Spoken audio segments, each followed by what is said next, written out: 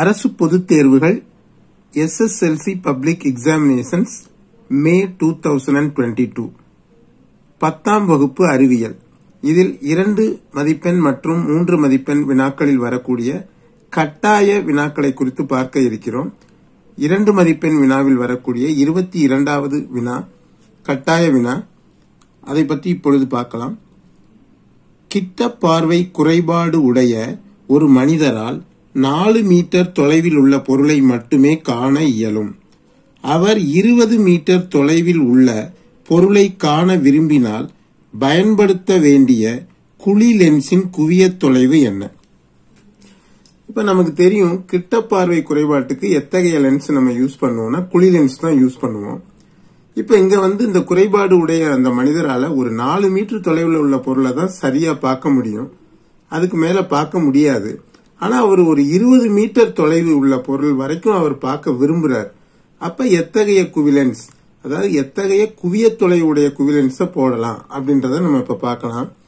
இப்ப விடை. இந்த ஃபார்முலா வந்து உங்க டெக்ஸ்ட் புக்லேயே இருக்கு. இப்ப இதுக்கு எப்படி நம்ம எழுதிக்கிறோம்னா காண இயலும் தொலைவு. அவரால் எவ்வளோ கா- எவ்வளோ தொலைவுக்கு காண இயல் முடியுது அப்படின்ற தொலைவை எக்ஸ்னு வச்சுக்கிறோம். அதாவது நாலு மீட்டர். காண விரும்பும் தொலைவு. அவர் எவ்வளவு தொலைவு வரைக்கும் பார்க்கலான்னு விரும்புறாரு. அதை ஒய்ன்னு வச்சுக்கிறோம் இருபது மீட்டர். அதாவது காண இயலும் தொலைவு எக்ஸ் இஸ் ஈக்குவல் டு நான்கு மீட்டர். காண விரும்பும் தொலைவு ஒய்ன்னு வச்சுக்கிறோம் இருபது மீட்டர். இப்ப குவிலென்ஸின் குவிய தொலைவுக்கு ஃபார்முலா என்னன்னா F is equal to X Y divided by X minus Y இப்ப அந்த நம்பர்ஸை வந்து சப்ஸ்டிடியூட் பண்றோம். பண்ணி அதை கேன்சல் பண்ணோம்னா நமக்கு ஆன்சர் வந்துடும் இப்ப எக்ஸுக்கு பதில் நான்கு எழுதியாச்சு ஒய்க்கு பதில் இருபது நாலு மைனஸ் இருபதுன்னு எழுதியாச்சு. நாலு இன்ட்டு இருபது எண்பது. இப்ப இங்க வந்து இது பிளஸ்ஸா இருக்கு இது மைனஸா இருக்கு. அப்ப கழித்தல் தான். பெரிய எண்ல இருந்து சிறிய எண்ணை கழிக்கணும். இப்ப இருபதுல இருந்து நாலு போச்சுன்னா பதினாறுன்னு வரும். அதுக்கு எந்த குறி போடணும்னா அந்த பெரிய எண்ணினுடைய குறியான மைனஸை போட்டுக்கிறோம். அப்ப மைனஸ் பதினாறுன்னு வருது.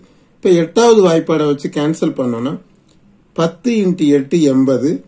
ரெண்டு இன்ட்டு எட்டு பதினாறுன்னு கேன்சல் பண்ணிடுறோம் அடுத்து ஓ ரெண்டு ஐ ரெண்ட பத்துன்னு நம்ம அடிச்சு கொடுத்தோம்னா அஞ்சு பை ஒன்றுன்னு வருது. அப்போ அது அஞ்சு தான் கீழே மைனஸ் இருக்கனால மைனஸை சேர்த்து எழுதுறோம்.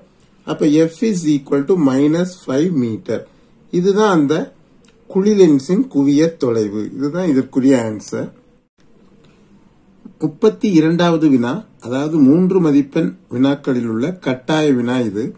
இது வந்து புக் பேக்ல அதாவது புத்தகத்தின் பின்புறமோ வினாக்கள் செக்ஷன்லயோ கிடையாது. இது புக்குக்கு உள்ள இருந்து ஒரு கிரியேட்டிவ் கொஸ்டினா அவங்களா எடுத்திருக்கிறாங்க. அதை நம்ம இப்ப பார்க்கலாம். ஏ என்பது நீல நிற படிக உப்பு. இதனை சூடுபடுத்தும் போது நீல நிறத்தை இழந்து பி ஆக மாறுகிறது. பியில் யில் நீரை சேர்க்கும் போது பி மீண்டும் ஏ ஆக மாறுகிறது.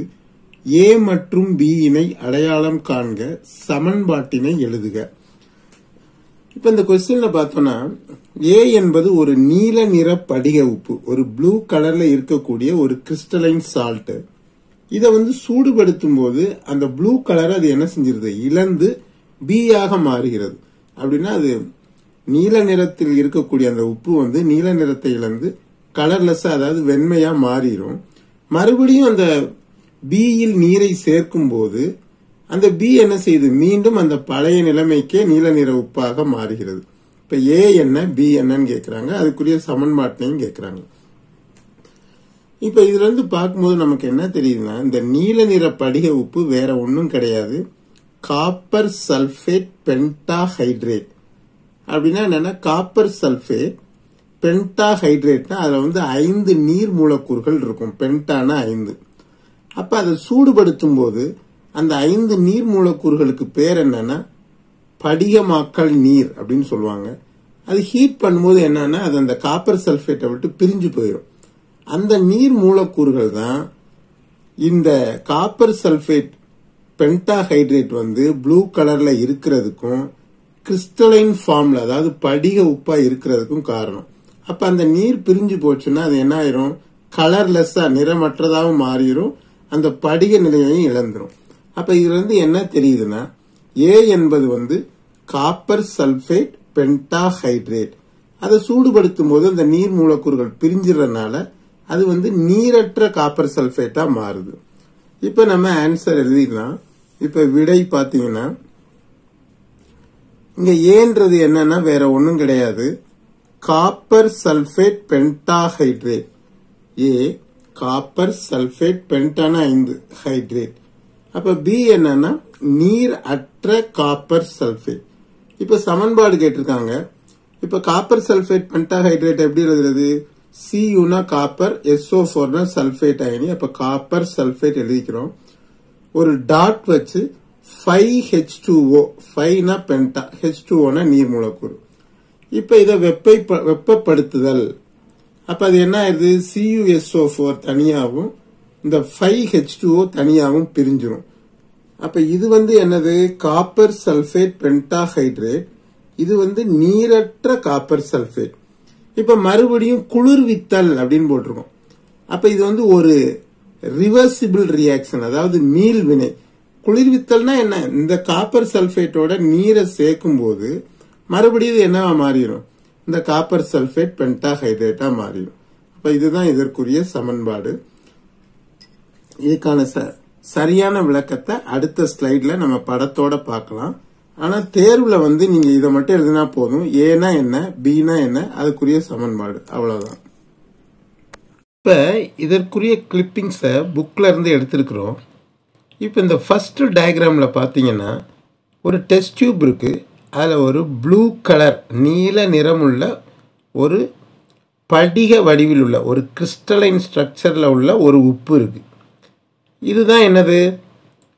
காப்பர் சல்ஃபேட் பென்டா ஹைட்ரேட் இப்போ இதை வந்து என்ன பண்ணுறாங்கன்னா ஹீட் பண்ணுறாங்க ஃபர்ஸ்ட்டில் வந்து இங்கே இந்த டெஸ்ட் டியூப்பில் வந்து அந்த சால்ட் மட்டும்தான் இருக்குது அடுத்த படத்தில் பார்த்தீங்கன்னா அந்த ப்ளூ கலர் நீல நிறமுடைய அந்த உப்பை வந்து புன்சன் பர்னரில் ஹீட் பண்ணுறாங்க அப்போ ஹீட் பண்ணும்போது என்ன நடக்குது அப்படின்னு பார்த்தோன்னா அந்த டெஸ்ட் டியூப்புக்குள்ள பாருங்கள் அந்த ப்ளூ கலர் போய் ஒரு வெண்ணிற வெண்மை நிறமுள்ள ஒரு உப்பு அதுவும் பவுடர் ஃபார்மில் முத மாதிரி படிய வடிவில் இல்லாமல் பவுடர் ஃபார்மில் ஒரு வெண்மை நிற உப்பு உருவாகுது. ஏன்னா அந்த நீர் வந்து ஆவியாகி அதுலேருந்து பிரிஞ்சு போயிடுச்சு இதுதான் என்னது?